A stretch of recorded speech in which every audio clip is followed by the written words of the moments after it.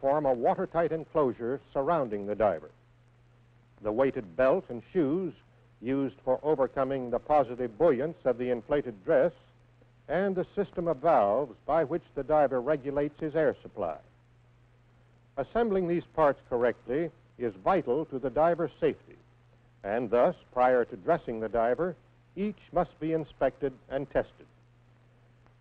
First, visually inspect the diving dress. Examine the fabric for tears, worn spots, or loose patches. Check the rubber collar for torn spots or excessive wear, especially at the stud bolt holes.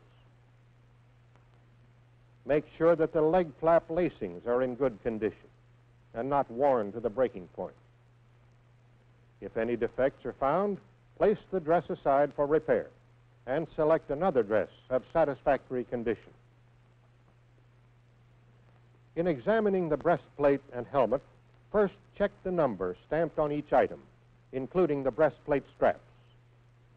The number must be the same. These parts are not interchangeable with like parts of another outfit. The number identifies the parts that go together to form a tailor-made unit of matching parts. With your fingers, check the 12 studs on the breastplate, making sure that none of them has become loose. Try the fit of the breastplate straps on the breastplates. They should go into place easily and conform to the curvature of the breastplate.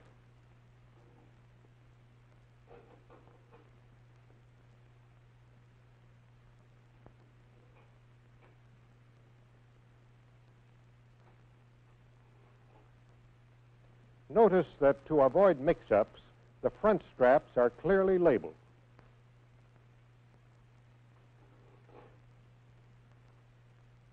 Turn the wing nuts down on the studs to make sure that no threads have been damaged since the last dive. The copper and brass of which the outfit is made are relatively soft metals. Being soft, the threads are susceptible to damage from careless handling. Notice that four of the wing nuts have heavy flanges. These go on the studs where the ends of the breastplate straps join each other. Look for worn areas in the breastplate lanyards. If there's any doubt, replace them. Remember, these lanyards secure the all-important air hose and lifeline. The leather gasket recessed into the top of the breastplate makes a seal between breastplate and helmet. Make a visual inspection for tears in the leather and for cleanliness. Dirt or debris could prevent proper seating of the helmet, thus causing leakage. Apply a light coating of neat's foot oil to the gasket. This will keep the leather soft and pliable so that it makes a good seal. Now, double check the helmet gasket by fitting the helmet to the breastplate.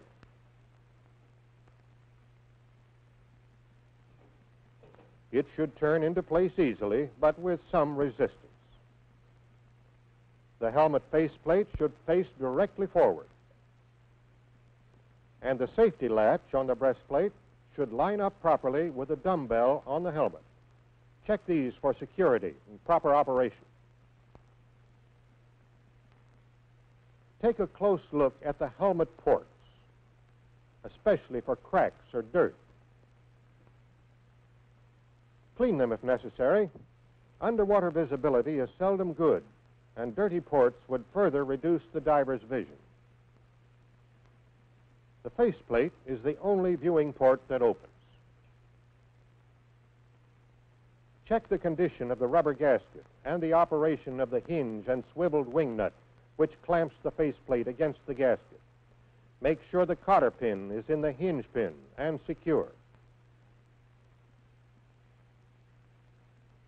The two goosenecks at the back of the helmet are extremely important.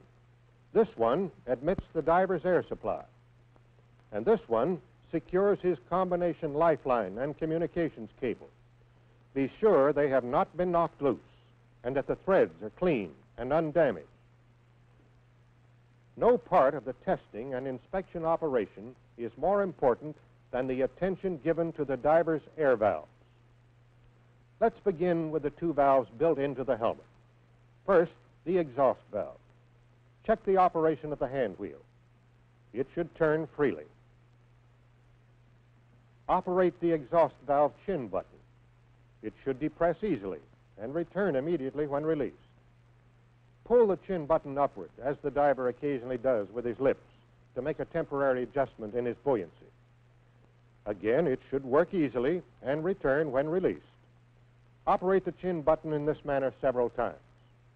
Remember, the correct operation of his exhaust valve is important not only to the diver's efficiency, but also to his safety. Next, the spitcock at the left side of the helmet. This is a secondary exhaust valve and is used to make minor adjustments in the diver's buoyancy. It's a simple sleeve valve. The only test necessary here is to operate the lever, making sure that it has enough turning resistance to remain fixed at any setting. Now, let's look at the remaining two valves, each concerned with air supply. The air control valve regulates the amount of air admitted to the diving dress. Again, the regulating hand wheel should turn freely so that the diver has no difficulty in making adjustments in his air supply. However, it must not be loose. Enough resistance must be felt to prevent an accidental bump or blow from turning the hand wheel and thus altering the diver's buoyancy. Make sure the cotter pin is in place to prevent the hand wheel lock nut from backing off. Each of the male threads machined into the body of the air control valve must be clean and free of distortion. Check the link and eye pad used to secure the valve to the breastplate. Excessive wear or damage is seldom found, but be sure. The last of the valves is the safety air non-return valve, usually referred to as the non-return valve. Remove it from the gooseneck at the rear of the helmet and check the condition of the threads. You'll remember that the non-return valve is a spring-loaded one-way valve. Air can pass through it into the helmet, but it cannot travel in the opposite direction from the helmet back into the air hose. Check this by blowing a mouthful of cigarette smoke into the end of the valve that has the female thread.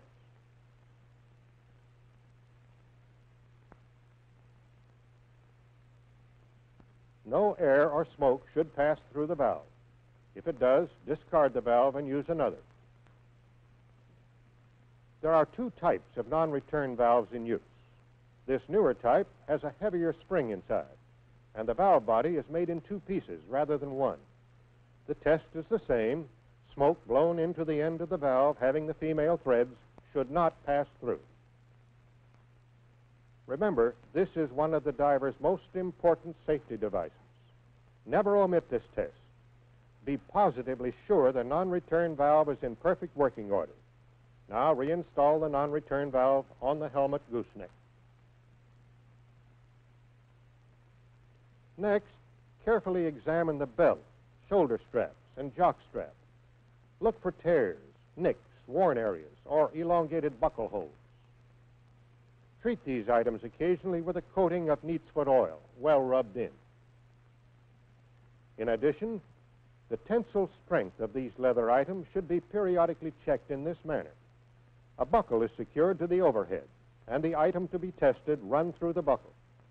If the belt, shoulder straps, or jock strap can support the weight of a man weighing 160 pounds, its condition is satisfactory.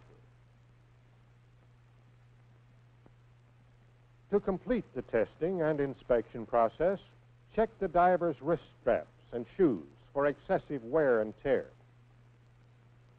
Apply neat's foot oil if necessary. Be sure the shoe lacings are not frayed where they pass through the eyelets. If there's any doubt in your mind about the condition of any item of the diver's equipment, check it out with the diving officer or diver in charge. It's better to ask a question than to take a chance on the safety of a human being.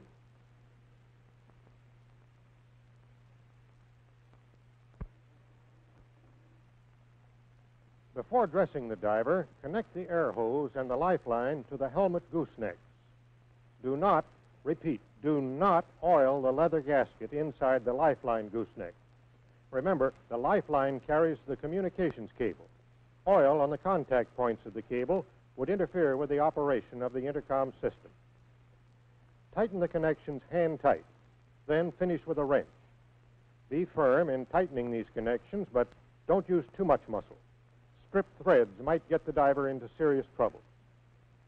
Check the air supply by opening the air control valve.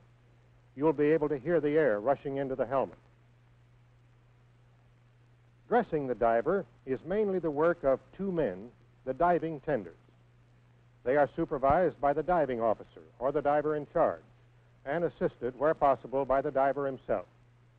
The diver is prepared for diving by donning one or two sets of diver's underwear, his choice determined by the temperature of the water and the amount of physical activity required by the job. To begin the dressing process, the diver slides feet first into the diving dress, the tenders assisting in drawing it up. The diver helps by worming his arms into the sleeves as the tenders work the dress over his shoulders. The diver assumes this bent over position so that the tenders can conveniently lace up his leg flaps. These are drawn up snugly, but not so tightly as to restrict circulation. Tenders work as swiftly as they can, consistent with safety, out of regard for the diver's comfort. On the surface, the diving outfit is not a very comfortable one.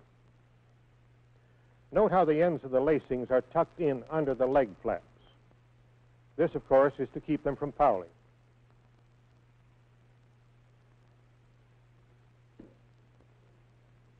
Tenders steady the diver as he steps into his shoes.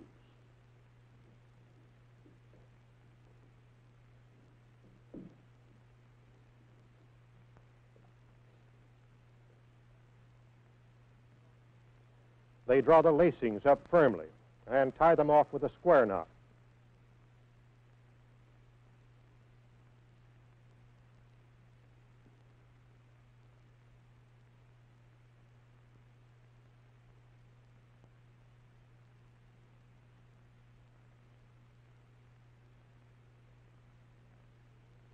Straps go over the ends of the lacing, again to avoid fouling.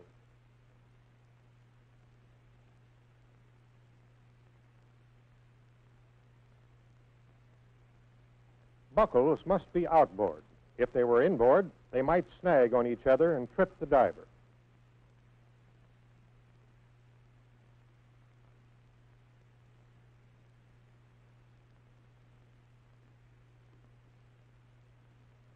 Next, the helmet cushion, the horse collar, as divers call it. This is an optional item. Some divers use it, some don't. All divers, however, should learn its use. It's a pad to protect the diver's shoulders and simply slips over his head. One tender works the horse collar under the bib of the dress, while the second tender gets the breastplate.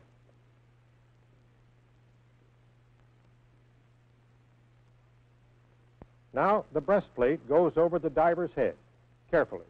There's not too much clearance. Eyelets and halyards, of course, are at the front. A tender tucks the halyard ends up inside the breastplate to get them out of the way. The next step is the all-important watertight seal between the dress and the breastplate. Working one on each side of the diver, the tenders maneuver the rubber collar over the breastplate studs, starting at the back and working toward the front. Alternating from side to side, they manipulate the stiff collar by pulling on the bib. The fit of the collar to the breastplate must be smooth, without bulges or wrinkles.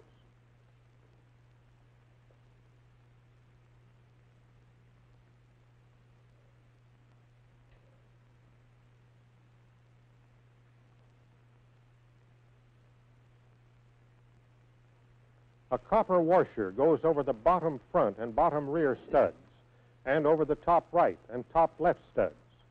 These distribute the pressure under the joints between the breastplate straps to prevent gouging and chafing of the rubber collar. Next, the breastplate straps. These are custom fitted in the manufacturing process. Each of the four straps must be placed in its own particular position. Getting them in the right place is easy. The front straps are clearly marked. The tenders now install the 12 wing nuts on the breastplate studs, being sure the flanged wing nuts are over the strap joints, and hand tighten each one.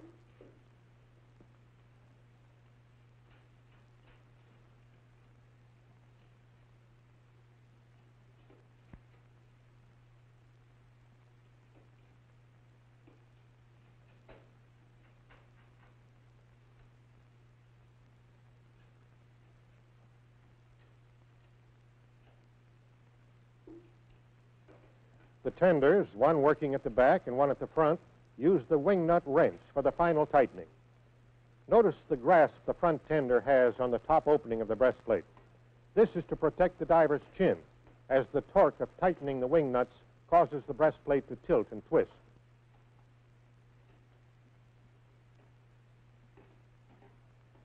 To equalize pressure, each tender tightens from bottom to top, omitting the wing nuts over the strap joints. These four wing nuts are tightened in this order bottom front, bottom rear, and the two top ones at the same time.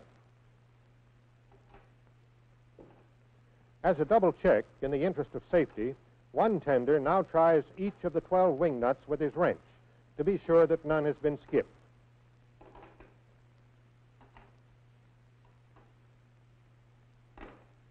Now he removes the wing nut on the longer stud at the left front of the breastplate where the eye-pad of the air control valve will be secured.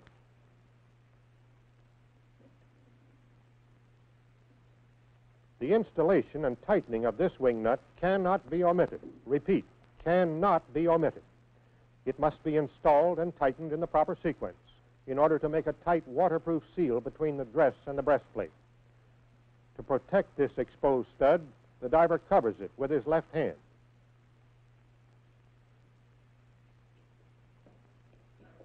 It takes both tenders to carry the 84 pound belt. Each holds an end and a shoulder strap, being careful to grasp the strap close to the belt. If they were to take a higher grasp on the shoulder strap, the heavy belt would tend to swing like a pendulum and might knock the wind out of the diver. The tenders place the belt around the diver's waist with the buckles at the rear. They lead the shoulder straps so that they cross at the bottom of the front lower stud, pass outside the top stud at each side, and cross again at the bottom of the rear lower stud.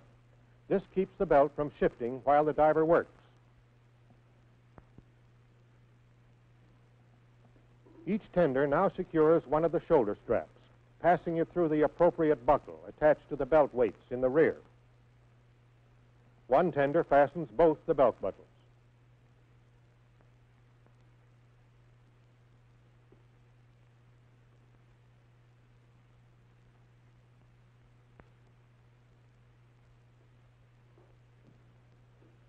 The diver stands, and the other tender passes the jock strap between his legs.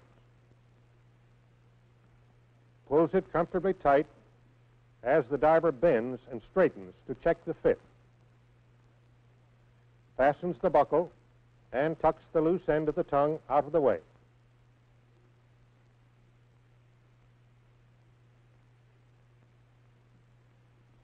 Each tender buckles on one of the wrist straps firmly but not so tight as to restrict circulation.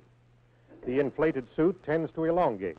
The wrist straps keep the diver's hands seated in the gloves.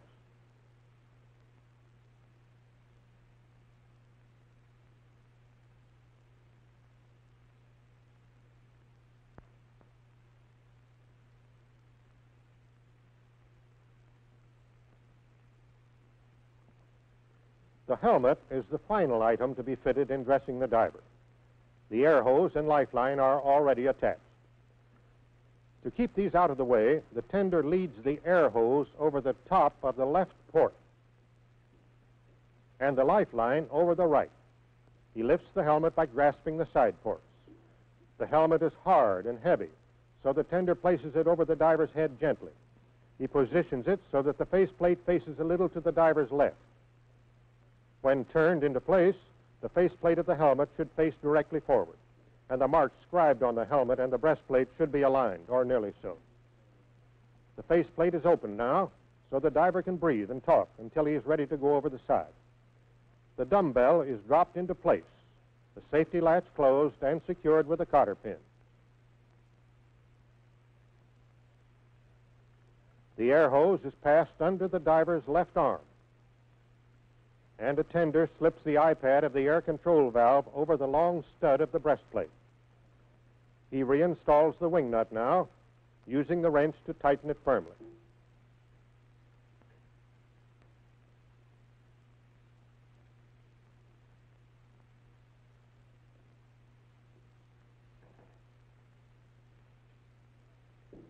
Now the tender lashes down the air hose, taking two round turns with the halyard and tying off the ends with a square knot. In doing this, the tender takes care to ensure that the air control valve hangs conveniently to the diver's left hand for easy adjustment.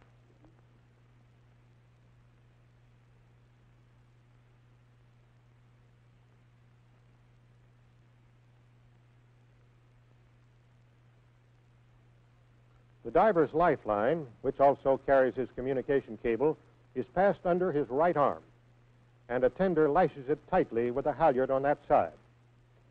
He again takes two round turns with the halyard and ties it off with a square knot.